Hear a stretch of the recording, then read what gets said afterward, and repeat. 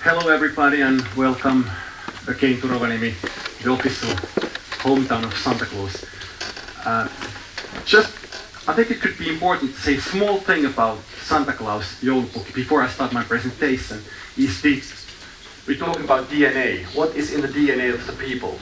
Because there are a lot of Dutch people here, there are Flemish people, and people who don't really know about Santa Claus. For us, for Finns, we have we believe in Santa Claus joulupukki since the at least end of the 19th century. We had the first writings about Santa Claus living in Lapland since 1918 and 1928. So really for us, it's in the DNA. Uh, it's in the DNA like my eight-year-old kids, they have Angry Birds in DNA. So to a certain extent, we have uh, we have this kind of characters, three characters maybe, uh, maybe. Uh, first one was uh, Santa Claus, the second one was Moomin, and now we have the the the Angry Birds. Of course, Santa Claus is a folklore character. It's not something that we don't owe the co copyrights, but I'm going to go to that. But but that's quite quite important to understand that for us, Santa Claus is not just a Coca-Cola invention. For us, it was 60, 70 years before. We have generations of people who have been believing in Santa Claus. But, but my team is that we, I'm going to talk about you about our internet TV, uh, Santa Television, YouTube channel, and also what can we learn about that. Really, I hope that after my 35 minutes, I should have, but apparently I have 25, I, uh, um, you, can, you can say that you also learned something about YouTube. How can YouTube be used, used for travel, marketing, and travel industry? So that's a kind of double goal I, I have today. So um, first we make a show, a YouTube trailer, a trailer that you can find also on our YouTube channel, a short video, one minute and a half. Hello everybody all over the world.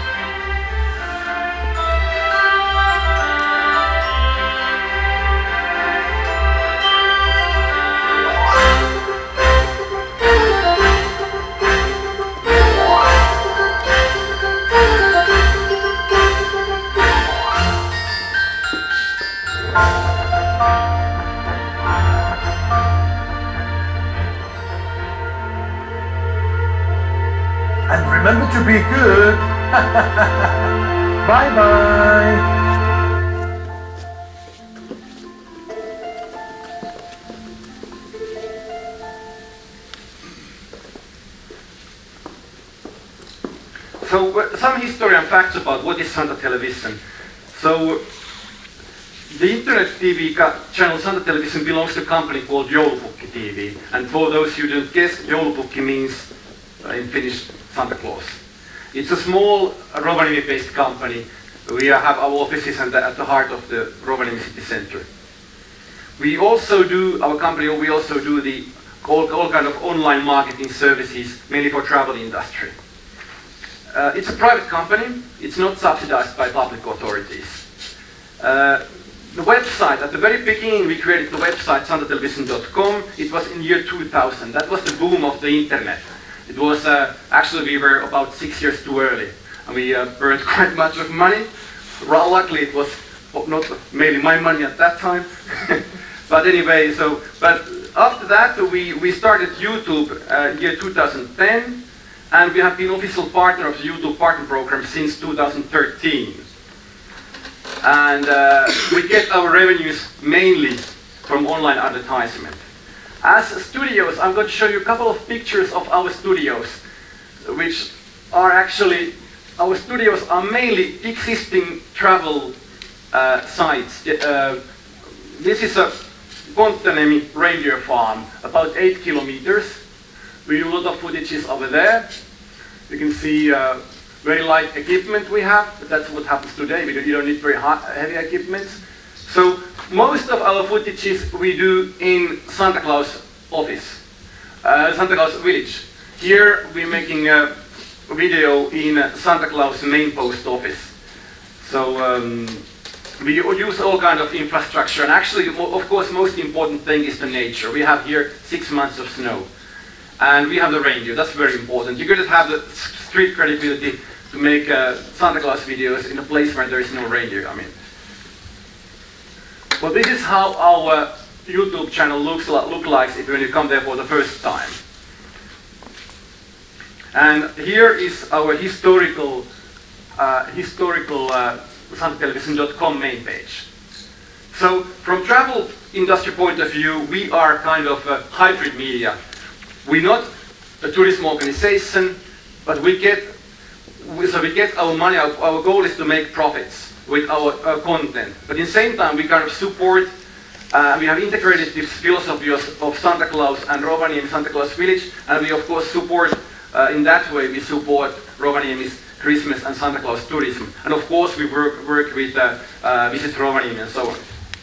Uh, and what's important also that we're not only making Santa Claus videos, we are making content uh, for three, uh, four other YouTube channels. For example, here we have, uh, of course, a Visit Rovaniemi. We also make some videos for Levi Mountain Resort.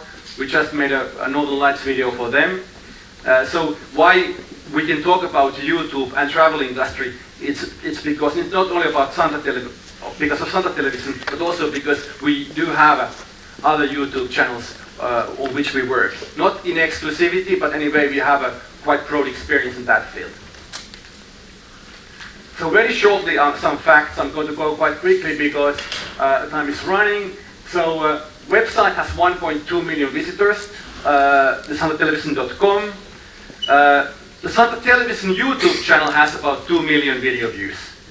Um, growth rate 100% per year, and uh, 80% of, uh, of videos were, have been seen in last two years. It's not one hit. Uh, in Finland, we're talking a lot about this lady called, a young lady from Pietarsaari called Moka Pocahontas or whatever, lady who's imitating the voices of different languages. Uh, Santa Television is not one hit. We have about 190 videos, so we're really long, doing long-term work on that. Where are the travel visitors coming uh, to our channel, uh, it's not very surprising. The France is the main destination. Uh, I have had trainees in our company who said that when they were kids, they were learned that Santa Claus is coming from Laponie, Père Noël vient de Laponie. So it, to a certain extent, uh, France is very important for us. Also, Italy. Uh, Brazil is, is increasing very quickly. I'm going back to that later on um, Spain, Finland, USA, only 5% USA. That might be quite surprising because YouTube is really have started in, in USA. Uh, the strongest increase we have is in Latin America. Uh, Mexico, Argent Argentina, and so on. It's really, that there we have like 300% per, per year increase rates. So every year we make about 40, 50 video, new videos, uh, and we add uh, new videos, but we also take old ones. And that's an important thing if you have YouTube channel. Don't leave all the cra crappy first YouTube videos there which are not relevant anymore. Clean your channel, keep your channel clear. Anyway, um, we have only 8,000 subscribers. That's not very much, and that's our problem because we are doing content in, in our YouTube channel in six languages. So we have French, Brazilian Portuguese, uh, Spanish, Italian, English, and Finnish. And uh, it's a bit uh, difficult to have logic of YouTube channel when you have six languages.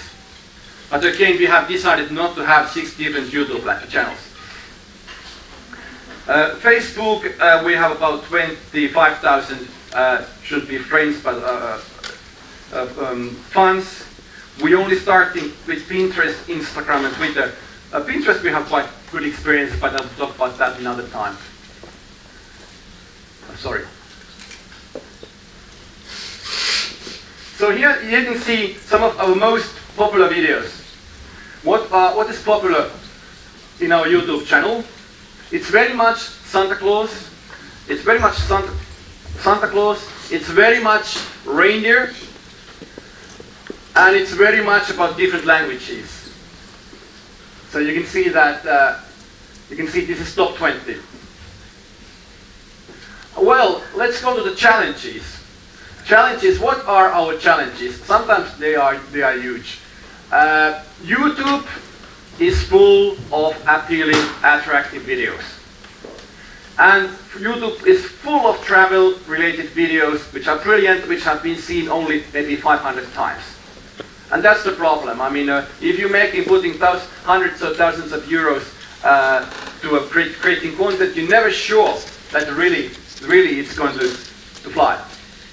Um, today it's more difficult to make, make YouTube hits that maybe like five, four or five years ago.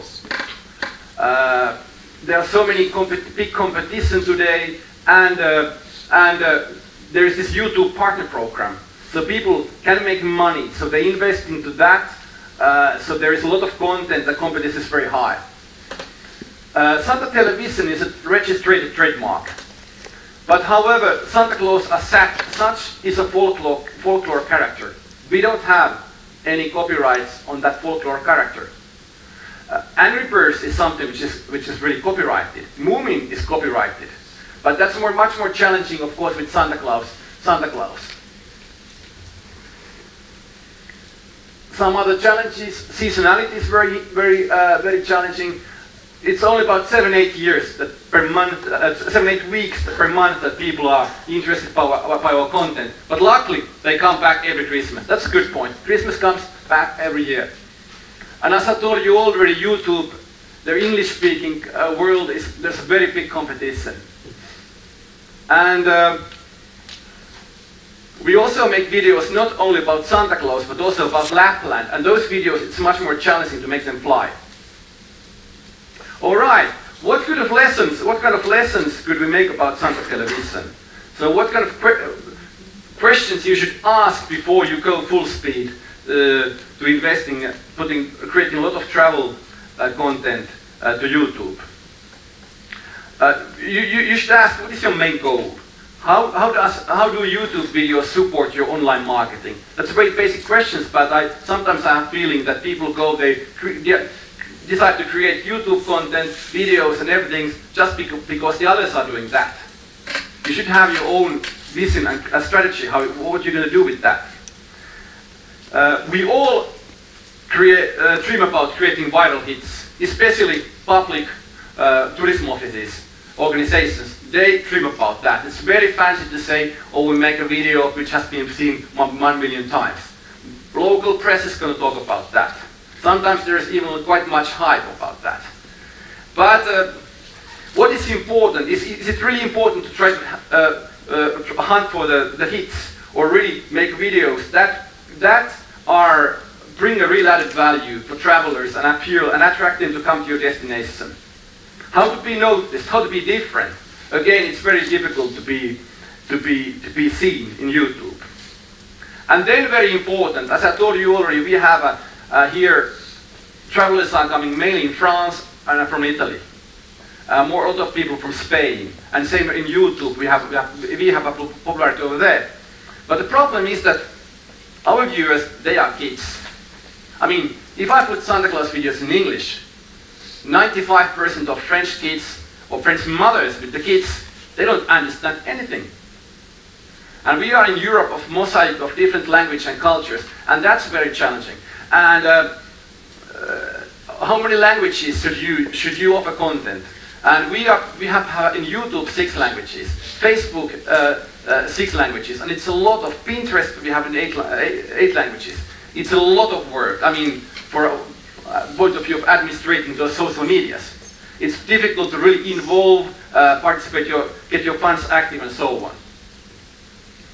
And what about the other, other social media? If you make video content, definitely you should not only make video content uh, for you, only for YouTube. And I think that, for example, Instagram might be very interesting in the future uh, in the way of for distributing the video content. It is already, but it, it might gain a lot of popularity. Well, some general advice, what, what, what we have learned. Well, if you want to get you popular and seen uh, YouTube videos, there's no silver bullet. Maybe some practice, best practices. And in the tourism field, it's always good to have funny ideas, uh, crazy ideas, uh, if you want people videos to get fly, but you also need, you know, you get need to get a lot of money for communication and content creation, and good luck, you know. Uh, maybe about the wow factor. I mean, this is not very wow factor to show points on the PowerPoint, but wow factor is very important and humor is important. But at the same time, if you make videos which are too far from the reality of the people who are watching those videos, uh, the traveler's real reality, uh, then there is kind of risk. Uh, it might be that you, you that those videos are really not uh, bringing added value. Then um, we're going to see some photo uh, images, but you're going to see that YouTube and travel industry trying to make timeless videos. Videos that people can watch two or three years after. Because videos that are quite often flying only on the on the second or third year. Here we have a very nice Santa Claus video, but statistics. I'm not going to show the video, but statistics. You can see that for first Christmas it was flying a bit, and then and then it's really, and now soon it's going to be one million. So this video had it was timeless video. It has a life expectancy for about four or five years. So put put your money. I would recommend you to put money on the videos that people can watch quite a long time, or events that are coming back every year. Of course, events they change a bit from year to another, but again, if you make promotion videos or information videos, it can be very useful for these kind of items. Uh, this is another example. This is from Santa Philip's web, web channel. Um, this is not about Santa Claus, even though this guy looks a bit like Santa Claus. It's about Kemi icebreaker. We have in the coastal Lapland, we have the Kemi icebreaker, and uh, in this video, you can see that it was one year online, and then it started to fly, in winter, and after that has been doing very decent score. And we have almost about 200,000 video views. So you think the timeless aspect is very important. Okay, some general advice. As I told you, we believe in coherent, coherent families of YouTube videos that can offer rich information, useful information. We have, we have had these six languages. It's a bit difficult to administrate, but in our case, at least, when, when people are looking for content on their mother tongue, it can be useful. And also, the important thing is that, ah, this is very good lesson. It's very difficult. We have been talking, the French people have been, French, uh, Eric was talking about the, uh, the difficulty of evaluation of impact. This is, it's very, if you put money to YouTube videos, it's extremely important, difficult to evaluate the impact. Uh, we can, I can say, see at, say at, at least that uh, once I was in a hotel, Rovaniemi hotel called Hotel Aakenus, and there was this night watcher called Erkki, and Erkki said, Tommi, Tommi, you make these YouTube videos in Portuguese Brazilian, isn't it? Yeah, yeah. You know, last week we had one family here from Brazil, and they, they said that they saw the Santa Claus speaking Portuguese, uh, Brazilian Portuguese, and they watched all the videos and they decided to come to Rovaniemi uh, because they saw these funny videos. So at least I know that at least one family has came to Rovaniemi, Rovaniemi thanks to us.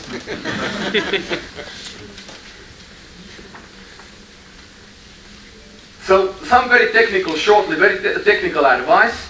Uh, preserve, uh, reserve enough uh, time and money uh, for your productions and uh, especially for the pre-production. Keep, make short videos, 60 to 100 seconds, seconds, uh, not more than two, uh, two minutes and a half. It's very important. Good music and sound environment is very important. If you go to the website of uh, Visit Finland YouTube channel, the the strongest point on those videos, which are not produced by our company, is really, in my opinion, really the music. I really love the music on those videos. And if you look at the comments, for example, there people are really much, pretty much asking questions about music and so on. And they have 4 million video views, which is very good score. And I think it's partly, partly thanks to the very good music and sound environment. Ah, then, uh, if you put YouTube videos, pay a lot of attention to the search engine optimization of the videos. Um, and, uh, but sometimes it's very difficult to understand the algorithms of uh, YouTube. Uh, because sometimes it's about search engine optimization, sometimes about, sometimes about comments, and sometimes about thumb up, and so on. And it's very difficult to understand why certain videos are flying and others not. If I were really hunting for the hits, I would put on YouTube, our YouTube channel videos where I would encourage the Finns to insult Swedes and vice versa. That would make video fly because there would be fight, no Finnish Lapland, Swedish Lapland, you don't have Lapland in Sweden, you have Lapland in Finland, blah blah blah. Well, that might, might be, not, be not so cold, but sometimes it's really funny things that make videos fly. Uh, strange things. At least from the human point of view. Maybe not uh, strange from the YouTube's uh, uh, algorithm's point of view, but anyway, they're not humans. Um, well, uh, one important point is also these thumbnail preview pictures. I'm going to see you one example of one video uh, which there was a very, in that video there was a very tricky, very bad preview image, and I changed it to this very nice Santa Claus reindeer ride. This uh, for, uh, Spanish video, and what happened? During one year there was nothing, but when we changed the preview image, boom! We have almost 300,000 views in one video. Just because, mainly because we changed the image. So that's quite a funny thing, might, might happen. Uh, some other technical advice, I go quite quickly. Uh, it's important if you make YouTube videos, travel videos, try to give them a second chance. I've seen cases that people put a lot of money to make a YouTube video, travel organizations, and they put it online and they forget it. Of course, if it starts to fly, then they notice again, but they don't, people don't really pay enough attention to promote them, to keep them flying. I mean, uh, tourism is a seasonal business. If your video is not uh, flying for the first, first summer, try to relaunch it next summer and so on.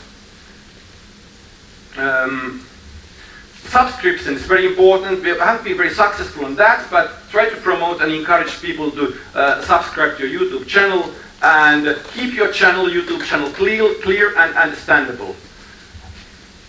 Uh, ah, of course, then they are encouraging your partners. That's a very basic thing. Then small thing, don't buy, don't never ever buy services from Russian or other companies which are promising you half a million video views for $1,000. It doesn't bring you any good. I know one major tourism organization in Scandinavia who used to, who, who used to do that. And after people started to criticize that, they hide the statistics. so you cannot anymore see that, that uh, some people are very, some Vietnamese people are very interested by snowmobiling. Just an example. But it also, it can also, if you buy that, that, those kind of services, also it can be that uh, YouTube can, can banish your videos and that you can be uh, banned. So, um, then we have also remarked that we have 25,000 uh, Facebook friends, and when we make a new video, uh, we have noticed that, that if we post, like discover a new video, blah, blah, blah, maybe only 11, 12% see that. But if we use, let's say, 30, 40 euros, then all of them see the video, uh, at least on their timeline. So, uh, another advertisement. So that can be useful to, to use Facebook to make your videos fly.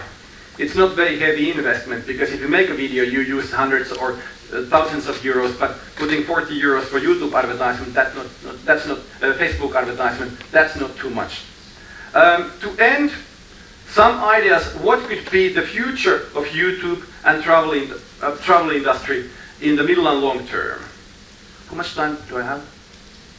Three minutes. Three minutes, well short, yeah. Um, consumers are increasingly searching and watching travel information in video format. That's very basic, but that's really true. Uh, it doesn't matter if it's YouTube, if it's uh, Facebook, if it's Instagram, maybe uh, Vimeo, but it's really the heavy trend. Then the other important thing is that YouTube is eight years old, like my, my kids, they're, they're born in the same year uh, like YouTube. And um, it's very difficult to, to consider that in short term, let's say in next two, three years, somebody could take the dominating position of YouTube. I would, uh, in short and long, uh, middle term, I would even say the contrary. On the contrary, uh, of course, nobody knows what's going to happen, uh, what's going to happen in long term. But I mean, uh, for the next three, four years, I'm quite sure YouTube is going to be there. Um, smartphone use is increasing very strongly. YouTube is uh, gaining popularity in, in, in um, emerging markets very much, as, as, I already told you, that we have huge number of people in uh, Latin America who are going to discover, who are discovering our, our YouTube videos, and mainly from uh, some of them first, via first time they're watching YouTube via mobile phone. So they don't use normal computer, they immediately start with YouTube with, normal, with mobile phone. Uh, also, maybe YouTube will be banned. I mean, uh, if I were you, I would put a lot of money to put uh, to to uh, to make Russian-speaking videos to YouTube, because I'm pretty sure that in, in, in a couple of months, uh, the certain followers don't. It, it, it, won't be it won't be will be banned again banned. Um, but we have other kind of in China. People are asking me, Tommi, you have Santa Claus Chinese they must be crazy about Santa Claus. Why don't you go there? I mean, why, why don't you make videos? Well, in China you cannot see YouTube. Well, you have tens of millions Chinese-speaking people outside Hong Kong, Taiwan, blah, blah, you can see, but not in mainland China. Uh, very important, uh, there, there's nothing surprising, but the time of the free visibility is likely to be quite much over. We can see the same phenomena already in, uh, in Facebook. We can see already two years ago we saw that in, in Google search engine. So you, tourism organizations and companies are likely to use more and more YouTube, but they're going to pay more and more. And that's a bit sad. Because the biggest risk for all the social medias, including YouTube, uh, uh, Facebook, TripAdvisor, name me, it doesn't matter, is that they put too much advertisement and it becomes uncool. because that's what's already happening with, with Facebook on USA. And, uh, well, Facebook bought Instagram, but probably now Instagram will be spoiled by the advertisement. So I, we all need to make money, I mean, as companies. But if you are too much greediness, I mean, it might destroy social media in, in middle or, or long term. But who knows? I mean, YouTube is not only social media. At the same time, YouTube is social media, but it's also the TV of the future. So um, we'll see. Uh, and I hope that anyway that there could be space for new innovative videos for YouTube. All right. That's about it.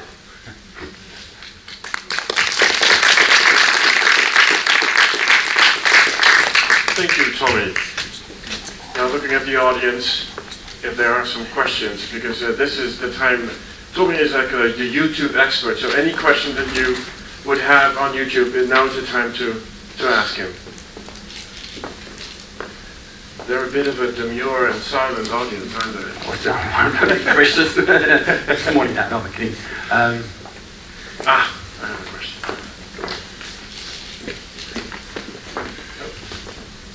There you go.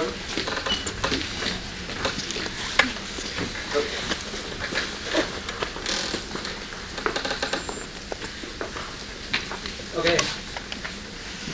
So I have a question. Uh, which do you think is more important for YouTube video? Uh, viral title or op well optimized title? Good question. They're both very important, uh, but uh, it depends what you're looking for. I mean, sometimes, sometimes if you put crazy title, I might be revealing that instant. But uh, if you want to have long-term success, maybe uh, I would say that uh, it, for travel travel industry, it's more that it's it's uh, optimized for the search engines, but uh, but uh, it's important that you have at least your keywords. I mean, and not only about, for example, Lapland, maybe Finland. Not only Rovaniemi, maybe Lapland. This you don't don't don't write when you write for the in social media. Don't write only for the search engines, but take them into consideration. Uh, I don't know if I answered your question. Yes, you did. I, just based on my experience in Yeah. social media, people think about more about nowadays about the viral and they Yeah. forget the optimized. And I think that's a mistake that we sometimes make. You need to find a balance on that, certainly, for sure. Any other questions? Yeah, I, I have a question here. This is on? Yeah. Okay. Uh, uh, thanks for a great lecture. It was some really good advice. Uh, maybe you could uh, just talk briefly about the, the difference between YouTube and Vimeo and, and uh, the difference between using these two platforms. We, our company, we haven't been do much. We haven't been doing too much for Vimeo. Vimeo traditionally, traditionally, uh, maybe Mika is here can, can correct me, is more like a for real video uh, makers. At the beginning, the Vimeo was was, was made uh, for the people to really have want to show their know-how. And for example, uh, we have another Rovaniemi-based company, Flatlight. Flatlight Films have been putting a lot of things to Vimeo. And um, in the tourism field, um, YouTube is kind of the good as point with YouTube is that if you are if you get a, a hit in uh, in, in YouTube, it's easier to make communication around that because everybody knows YouTube, but not everybody knows Vimeo. So it so, sounds a bit more sexy. At the same time, uh, the the Vimeo is maybe for people are have more decent behavior.